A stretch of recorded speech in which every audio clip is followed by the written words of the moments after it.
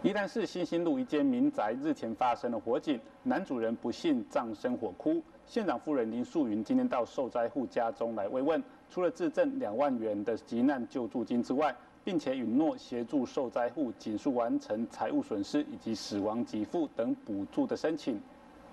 这个月二十二日中午十二点多，宜兰市新兴路一处民宅发生火警。男主人不幸葬身火窟，县长夫人林素云今天特别到受灾户家中慰问，并且致赠两万元的急难救助金，并且当场允诺会协助受灾户尽速完成财务损失以及死亡给付等补助款的申请。这个财务损失的补助款，这个啊，应经济啊，这个消防局的啊，这个报告，由我都来马上发放。另外一个就是讲，针对这个过身去的这个死亡啊，这个补助给付哈，啊，即嘛检察官讲要搁解剖啦，啊，对于这部分，因为啊，啊，这户主家啊，确实有影非常的弱势啦哈，包括因本身的劳健保嘛拢无，啊嘛无去保险吼，加是讲这个非人为因素才有法度清这条钱啦，啊，所以讲即嘛安尼变做卡着讲，啊，住户因要办理这个。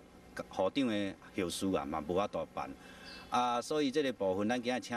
啊，这个县政夫人来哈，啊，是毋是讲有法度请县政府甲地检署迄边来到协商啊，赶紧啊，互这个啊原因来较早明了，有法度清零啊，这个啊补助款以外，嘛法度赶紧来办理伊的后事。因为受灾户的家境相当清寒，县议员江聪渊特别呼吁善心人士发挥爱心。共同协助受灾户渡过难关，有意愿的人可以直接和社会处社会救助科来联络。宜兰新闻记者赖福新采访报道。